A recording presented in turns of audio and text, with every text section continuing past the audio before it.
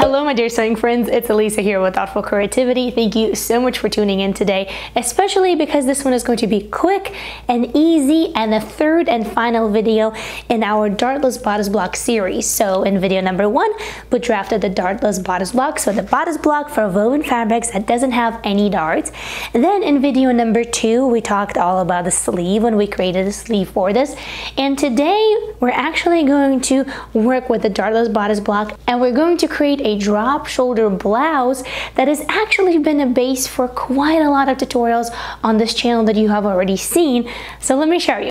Now, do you remember these tops? There's actually more than that on my channel and all of the links will be linked in the info box below for you guys to take a look at it and to have some more ideas of where you will be able to use this dartless bodice block that we're going to transform into a drop shoulder top. But these are the three that I wanted to show you to see the possibilities of this very simple modification of a dartless bodice block. So the first one is a very simple peasant blouse that has been gathered at the sleeve and and at the front and in the back and that has been also made by adjusting and modifying the very simple drop shoulder blouse.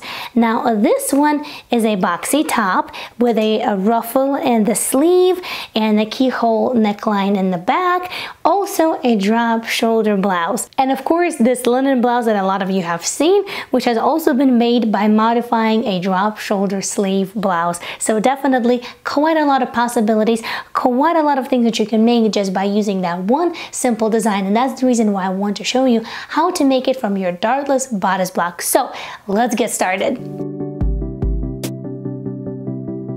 First things first, you will need to go ahead and grab your Dartless Bodice Block template and we will need to copy that on a fresh piece of pattern paper.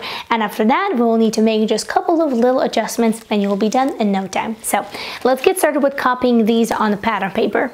Now it is a very simple procedure. You just place your existing pattern piece on a new piece of paper and trace it with the pencil as precisely as you can. And to help hold the pattern in place, you can either use a painter's tape or pattern weights. Now here I have also outlined my pencil markings in red so you can see better. And I'm also going to extend my pattern below the waistline so that way it would really look like a blouse. So I'm extending it about 4 inches and for the width of the bottom I took took a quarter of my hip circumference plus half an inch for the ease.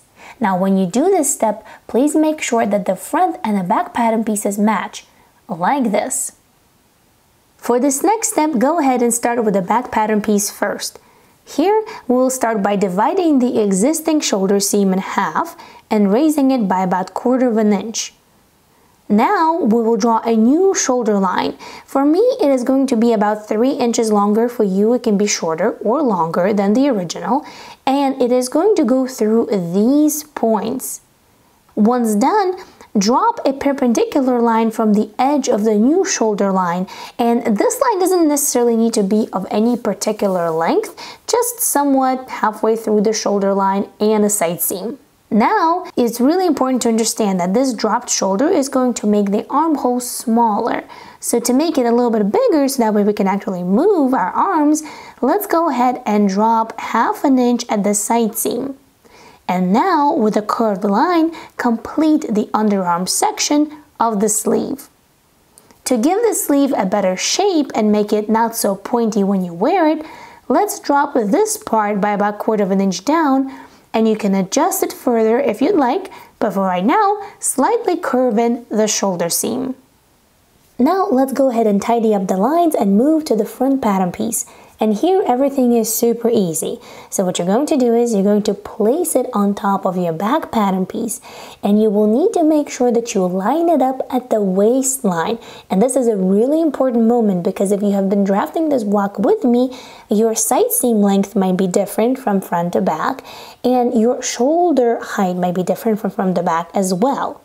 Now you can also see that here, for example, high shoulder point is higher than the back, and that is the only thing that we will leave as is in a front pattern piece.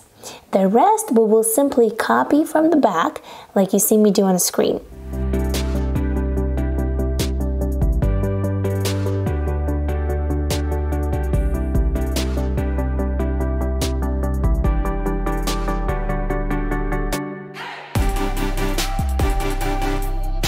Now here's the thing. Because of the difference in height of the front and the back, the front shoulder seam will be a little bit longer than the back shoulder seam. And we need to even them out. So grab your measuring tape, measure the back shoulder seam, and then adjust the front shoulder seam to be the same length as you see me do on a screen.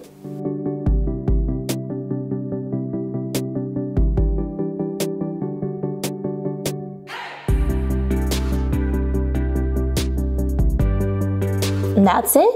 It's done and dusted, so let's test it out. Now let's go ahead and cut your pattern pieces out and here please remember to add your seam allowances because I draft my patterns and all of my tutorials without seam allowances added on the paper patterns because I do that when I cut my fabric. So if you work differently, please remember to add your seam allowances. Now here's a quick little tip and this is just how I do things so you can take this tip or you can leave it whichever way you prefer.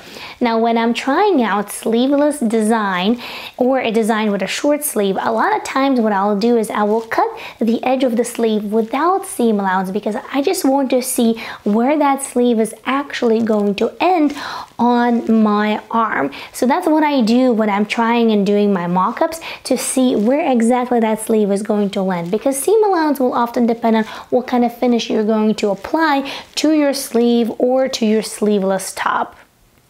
All right, now that that is done, let's go ahead and baste it together. I do it with just a hand sewing needle and a thread, nothing fancy. Make sure that you do take into account your seam allowances, and then let's go ahead and try it out.